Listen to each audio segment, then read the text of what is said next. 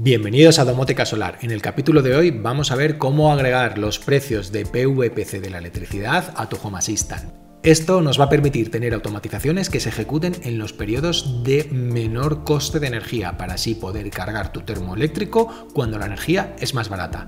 Así que si estás interesado, adelante vídeo.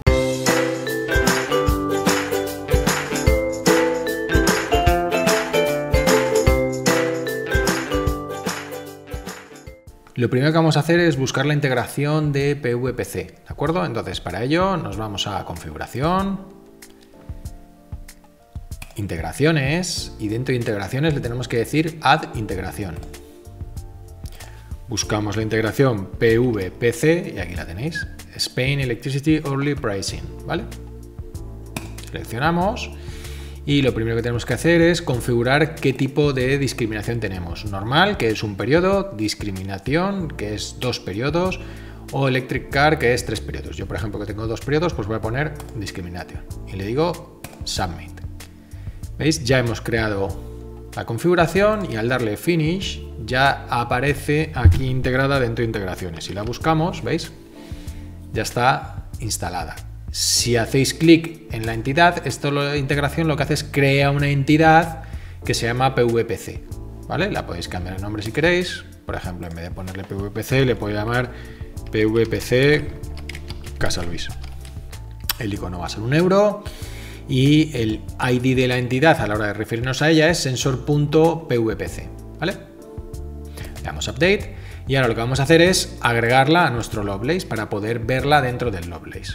Nos vamos al Lovelace, creamos una nueva pestaña en la que vamos a llamarla precios electricidad y agregamos una tarjeta. Vamos a agregar una tarjeta de tipo entidad normal en el que borramos los elementos y agregamos el elemento PVPC. Ahí lo tenéis y le damos guardar. Y fijaros que ya nos dice el precio PVPC que vamos a tener en casa en estos mismos instantes, ¿vale? Ahora mismo la electricidad está en 0,08524 euros el kilovatio. Por supuesto, como es un sensor, se puede utilizar para automatizaciones. Por ejemplo, vamos a realizar una automatización que nos envíe un mensaje al móvil si el precio de la energía sube, por ejemplo, de los 0,85. Nos vamos a configuración, automatizaciones, y creamos una automatización. La creamos en blanco, le ponemos aviso de precios superiores a 0,80. Ahora tenemos que ir con el disparador, el trigger. El trigger, en concreto, en este caso, es un numeric state, es decir, tiene que hacer una comparación numérica, ¿vale?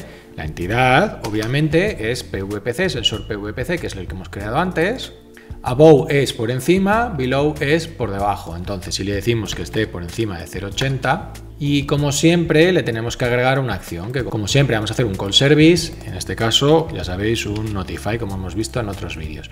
Voy a hacer un notify sobre el teléfono de pruebas en el que voy a ponerle aquí el título precio superado y como mensaje pues ha superado el precio, ha superado los 0.80. Guardamos y fijaros cómo cuando el precio supere los 0,80, el móvil, ¿veis? Avisa y dice precio superado. Ha superado los 0,80. En vez de una notificación, lo que podemos hacer es, por ejemplo, que cuando supere un determinado precio, la energía, pues o no cargues el coche, o mm, no cargues el termosolar, o cualquier cosa que se te ocurra, ¿vale? Vale, fijaros, ahora también una cosa que podemos hacer es en la notificación no solo avisar de que el precio ha sido superado, sino que marcar el precio en la propia notificación, es decir, especificar qué precio es el nuevo precio, ¿vale? Entonces, para ello lo que tenemos que hacer es irnos a la notificación y veis que en el mensaje vamos a poner el nuevo precio es... Y ahora ponemos llave llave. En el momento que ponemos llave llave, fijaros lo que ocurre. Salta y ya no se puede editar en modo visual y hay que editarlo en modo manual. Entonces ponemos llave llave, states, paréntesis, comillas, eh, el nombre del sensor, en este caso sensor.pvc, comillas, cerramos el paréntesis y cerramos las dos llaves, ¿vale? Guardamos y fijaros que me ha dado un error, pero es porque no puedo tener aquí comillas y aquí también comillas, es decir, estas comillas es para todo el mensaje, luego no puedo romper las comillas con otra comilla. ¿Qué es lo que hago? Cambio estas comillas, esta comilla y la pongo por comillas, ¿vale? Y así ya me lo permite, ¿veis? Ya permite grabar. Vale, vamos a ver qué dice ahora esta automatización cuando salta, ¿vale? Fijaros, salta la notificación y veis que dice precio superado, el nuevo precio es 0,08524, es decir, tengo ya el precio dentro de la notificación. ¿Qué más cositas podemos hacer? Podemos ver un gráfico con los estados que ha ido teniendo el precio de la energía. Si nos vamos al Lovelace, nos vamos a la pestaña que tengo yo aquí que llama electricidad, le digo editar y agrego una tarjeta. Hemos visto que podemos integrarla simplemente como el valor como tal, ¿veis? Pero es que podemos agregar otra tarjeta que sea de valores históricos. ¿Veis? Historical Graph. En este, si agregas el PVPC, ¿veis? Tienes todos los valores que ha ido teniendo el precio de la energía. El tema que ocurre es que si os fijáis, en este sensor va saliendo el precio actual. Sin embargo, en la página donde se publican oficialmente estos datos, que es donde saca este, este plugin, los datos, ya están publicados los precios completos del día de hoy. Es decir, que yo ya sé que ahora que vale la energía, pues por ejemplo, 0,8524, eh, dentro de una hora va a estar más barata y dentro de un ratito va a estar todavía más barato. ¿Vale? Es decir, yo sé que aquí a las 12 va a ser el precio más barato, el 0,7663. ¿Vale? Entonces, la pregunta del millón de dólares es, ¿y no puedo ver ya los datos de todo el día y saber cuáles van a ser? Sí, vamos a ver cómo hacerlo, ¿vale? Vamos a agregar un plugin al Lovelace para poder ver todo el gráfico de todo el día y saber cuándo van a ser los precios más caros y más baratos. ¿Vale? Hay un plugin, ¿vale? Para hacks, recordar que tenemos instalado el hacks, que es la tienda de aplicaciones fuera de Home Assistant. Hay un plugin para hacks que nos permite ver ya todo el gráfico, ¿vale? Entonces vamos a instalarlo. ¿Cómo se instalaría? Bueno, pues nos tenemos que ir a hacks, ir a frontend, en este caso es un plugin de frontend, y le tenemos que decir explorar, añadir repositorios. Dentro del buscar repositorio le damos PVPC y ya fijaros ya me aparece, ¿lo veis? PVPC Hourly Pricing Card, ¿vale? Lo seleccionamos, que es de Daniel Martín, y fijaros aquí os explica un poquito lo que vamos a funcionar, lo que vamos a ver, y le decimos instalar este repositorio. Aquí te dice dónde va a estar instalado, ¿vale? Te dice que va a estar instalado en config www Community PVPC Early Pricing Card, ok, y le decimos instalar. Nos pregunta que tenemos que volver a recargar para que funcione todo, le decimos que sí, que recargue y ya estaría instalado. Si lo buscáis, PVPC, veis, ya aparece como instalado. Ahora, simplemente una vez instalado con el Hacks, lo único que tendríamos que hacer es ir al Lovelace, a la pestaña donde quisiéramos agregar la nueva tarjeta y le diríamos añadir tarjeta.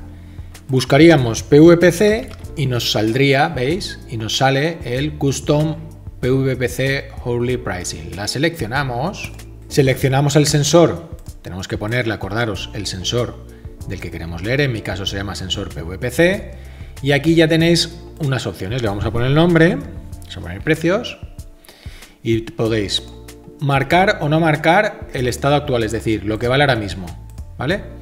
Marcar o no marcar el gráfico, ¿Veis? Ahí está el gráfico, o lo puedo quitar, puedo no poner todo el gráfico. Mostrar los detalles, ¿vale? De cuál es el menor precio de hoy y cuál es el mayor precio de hoy, ¿vale? Y el show info que en cuanto haya información de mañana te la dirá, ¿vale? Entonces la activamos todo para que veamos cómo quedar. Le damos al save y ya estaría. ¿Vale? Ahí tendríais vuestros precios de todos. Fijaros aquí os marcan el precio, el máximo precio y el mínimo precio.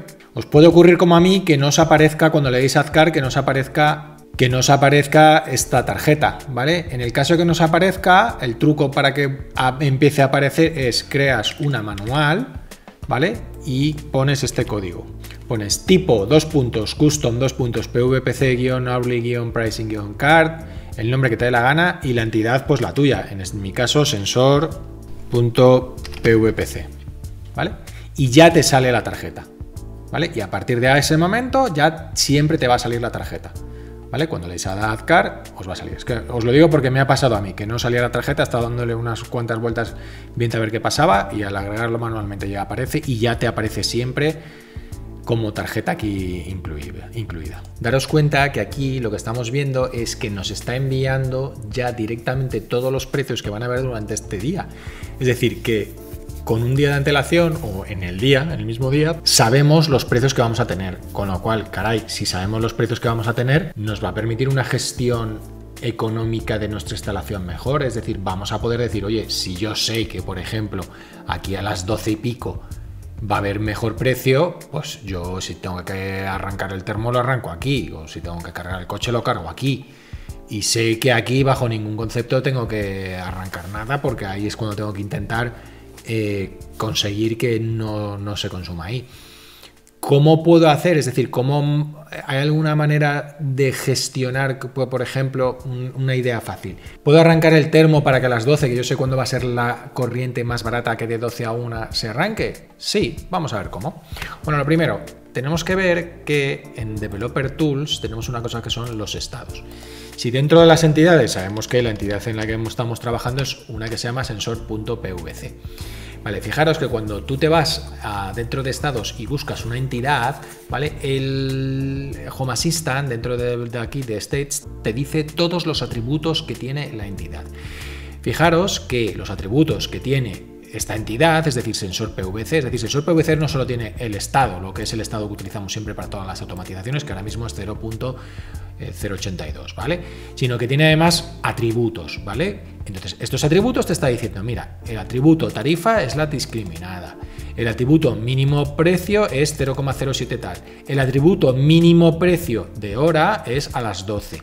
Luego, los siguientes son a las 12, a las 11, a las 23, a las 16, a las 15, a las 17, a las 14, 13, es decir, te está ordenando todas las mejores horas por eh, de menor a menor. Esto te va a permitir además, si quieres, arrancar en función de las horas que tú quieras, ¿vale? Y además tienes los atributos precio a una determinada hora, precio a otra determinada hora, etcétera, etcétera, etcétera. La unidad de medida y el friendly name, ¿vale? Bueno, pues oye, ¿y cómo podemos acceder a estos atributos? Venga, pues vamos a agregar en la misma automatización que teníamos simplemente que nos diga, ¿vale? El atributo que queramos. Y ahora ya vamos a ver cómo podemos manejar esos atributos. Volvemos a configuración, volvemos a automatizaciones y editamos la automatización que acabo de crear que se llama arranca termo. Bueno, esta automatización, que ahora veremos cómo funciona, simplemente lo único que dice es cuando salta, ¿vale? Manda un mensaje de notificación al móvil, ¿vale? Y pone arranco termo. Vamos a comprobarlo para comprobar que funcione. Fijaros, si lanzo las acciones, le doy a Run Actions. ¿Veis? Y pone arranco el termo. Pues vale, pues muy bien, funciona. Vale, ¿cómo hago para referirme en las notificaciones a los estados? Muy fácil. Ya sabéis que hemos dicho que para referirte a un campo tienes que poner llave llave. Vale, pues en este caso es states, states. el nombre del sensor, que es sensor.pvpc en este caso, ¿vale?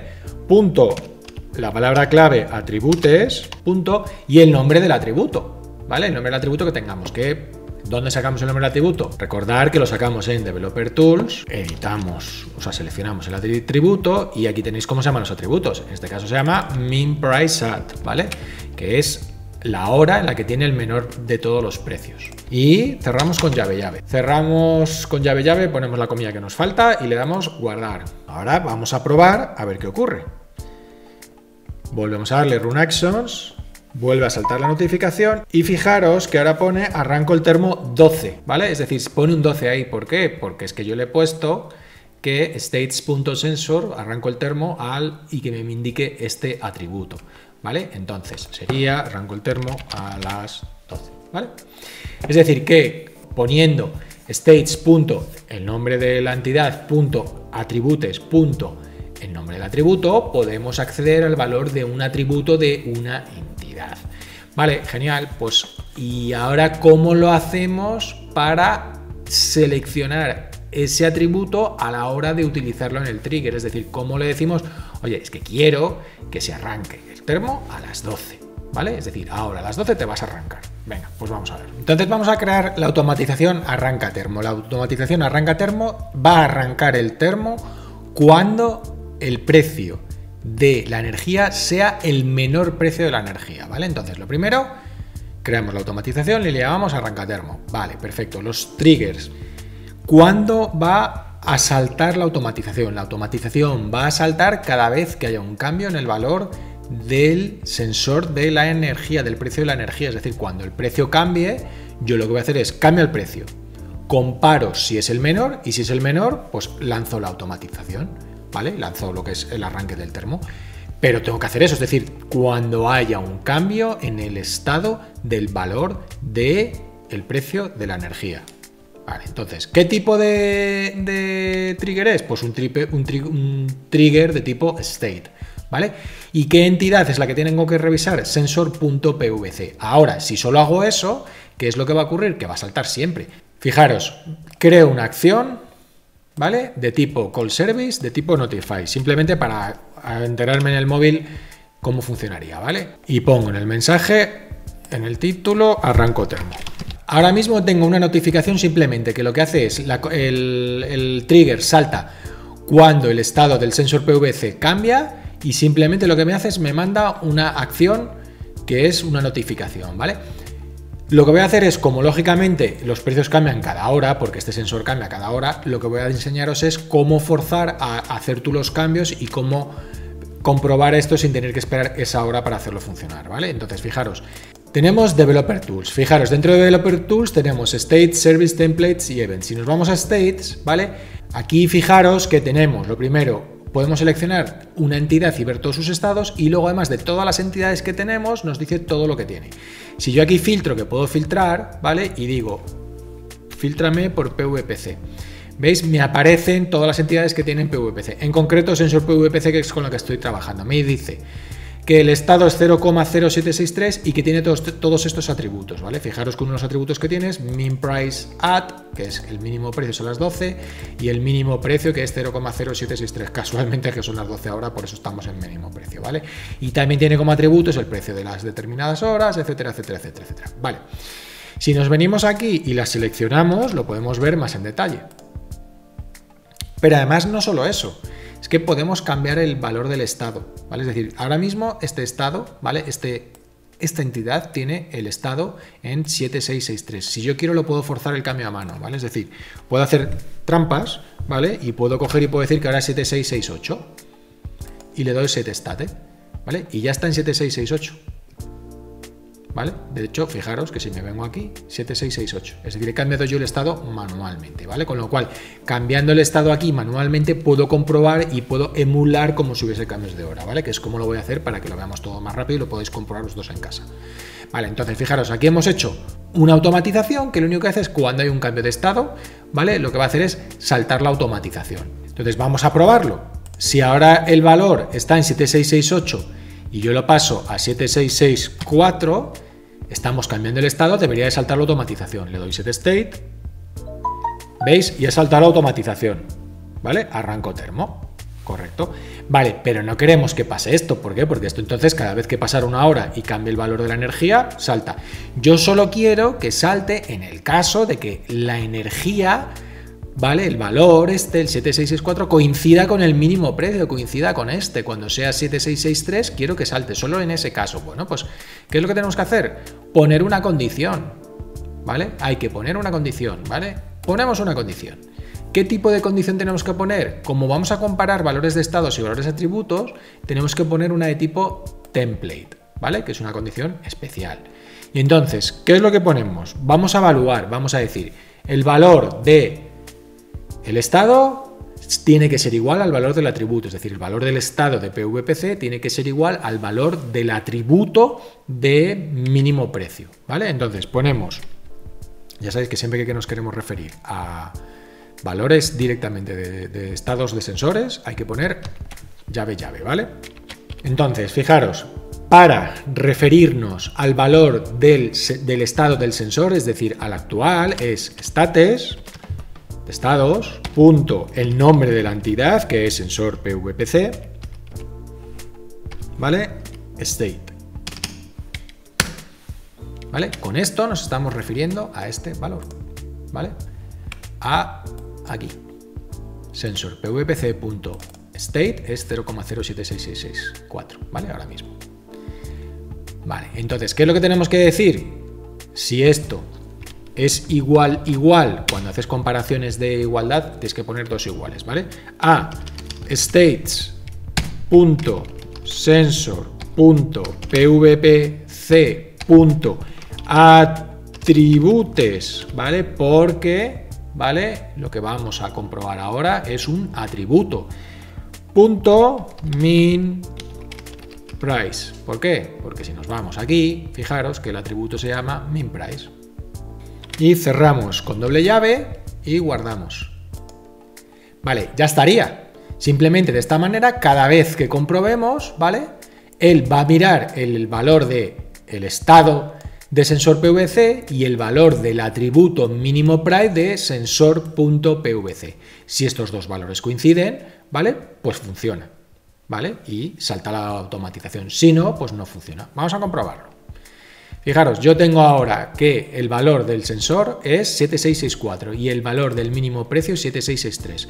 Si lo cambio a 7668 no es igual, no tiene que saltar la automatización. Vamos a comprobarlo. Le doy set state y la automatización no salta. ¿Vale? Vale, pues ahora voy a poner 7663. El valor del estado y el valor del mínimo precio son el mismo, tiene que saltar. Vamos a comprobarlo. Y no salta.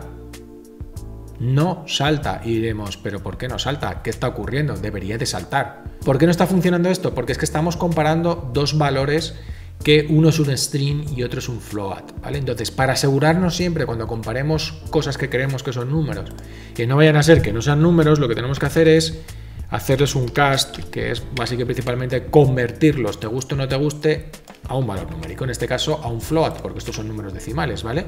No le puedes poner a int porque int no son números decimales, tienes que convertirlo a float. Con lo cual, esto lo que va a hacer, esto lo va a convertir a float y esto lo va a convertir a float, con lo que ahora sí esto van a ser números. Si le doy guardar, ¿vale? Ya estaría guardada la notificación y vamos a comprobarla. Fijaros, tengo el valor en 7663, lo cambio a 7665. Lógicamente aquí la automatización no tiene que saltar porque el valor no es el mismo y no salta. ¿Vale? Vale, pues ahora lo vamos a colocar en 7663. Debería de saltar. ¿Veis? Acaba de saltar inmediatamente la automatización. Es decir, que el tema está en que tienes que convertir los dos valores a número para que cuando haga la comparación salte. Entonces, ¿esto qué es lo que va a hacer? Cada vez que haya un cambio en el sensor de la energía, es decir, aquí, cada vez que hay un, cambio en este valor, ¿vale? Lo va a comprobar con el valor lowest priced. En el momento que coincidan, es decir, 07763 con 07663 va a coincidir, es decir, son las 12, coincide, automáticamente lanza la automatización. Con lo cual, ¿qué es lo que conseguimos? Cargar nuestro termo en la hora más barata del día. Hoy hemos visto cómo agregar los precios PVPC a tu Home Assistant y poder lanzar automatizaciones en los momentos de energía más barata del día. Así que si te ha gustado el vídeo, dale al like, me gusta y coméntanos aquí abajo cómo lo tienes tú configurado. Un saludo.